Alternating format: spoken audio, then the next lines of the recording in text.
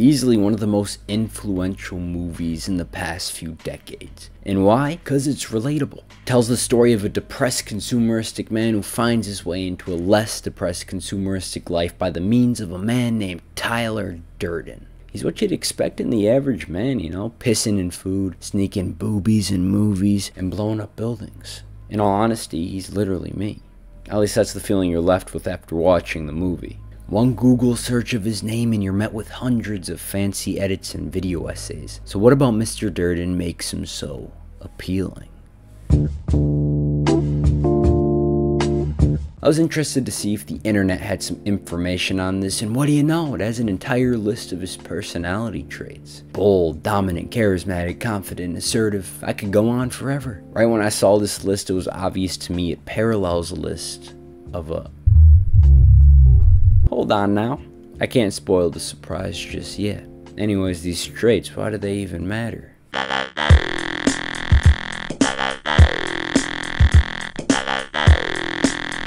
Listen, I'm not gonna waste your time. All of Tyler's traits seen in this movie are based on confidence. He's bold because he's confident. He's dominant because he's confident. He's charismatic because he's confident. So that begs the question, how does one become so confident? Well, here's how I like to look at things with confidence. The journey to it is like a brick wall that takes a hit every time you do something. This is where the traits that come from confidence need to be forced in order to break this wall. Tyler is seen doing many things that would certainly hit some people's walls hard. One of these things is uh, talking to random people. Most people don't do this, and it's kind of like taking tren for confidence. If you're in high school, I know ultra specific. But during lunchtime, when you're in the lunch line, go stand next to some random fool and start talking to him. It really doesn't matter if it's awkward or not. People tend to worry about things seeming awkward or them being weird. Why would you want to seem normal? Normal is pretty boring, frankly. But anyways, the hardest part about talking to random people is that overbearing, weightful feeling you get, that negative feeling. It's like everything in your body is telling you, don't do this.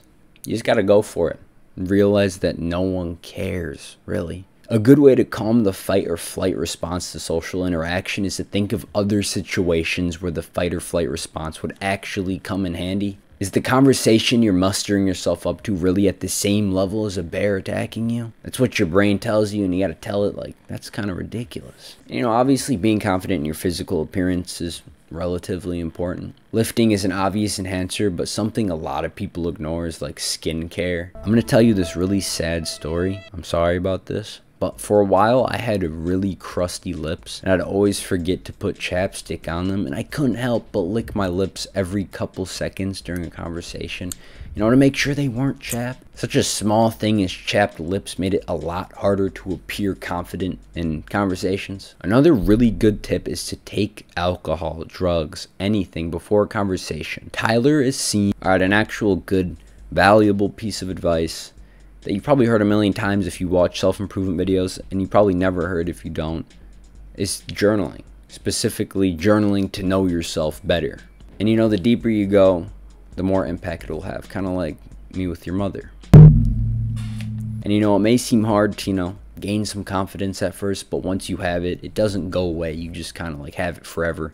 And it becomes really easy to stack on after a while. So now that you're the confidence king over here, you're basically Tyler Durden, right? No, you're not.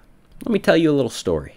As I was growing up, I was a nice, passive little boy. By the time I hit middle school, I wasn't the most confident person in the world, but I had some in me more than most. I made friends relatively easily, talked to people easily. High school hits, same fella.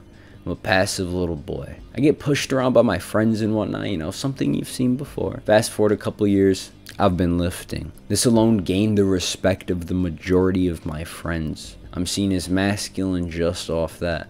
My point is having that little bit of confidence in middle school and early high school didn't help in earning the respect of people around me, especially true respect. It took me portraying more masculine traits like strength and stoicism for true respect to trickle in. Tyler Durden could be bold and confident, but what if he was fat? He didn't have that signature physique. What if he cried about his problems whenever something doesn't go his way? He can be as bold and charismatic as he wants, but he wouldn't be the same. He wouldn't be masculine. which is the core of Tyler Durden.